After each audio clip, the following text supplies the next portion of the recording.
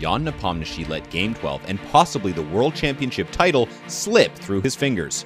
After a strong opening by Nepo, an error by Ding, and brilliant 25th move, Nepo was on the cusp of victory before a shockingly error-filled sequence by both players turned everything around.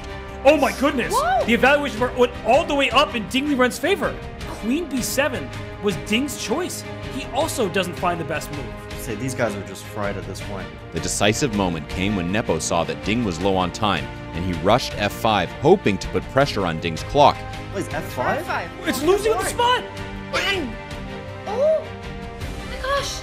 Absolutely devastated because he had a world championship title just right there in his hands. After just four more moves, Nepo resigned, Handshakes, and that is it. and thus, somehow,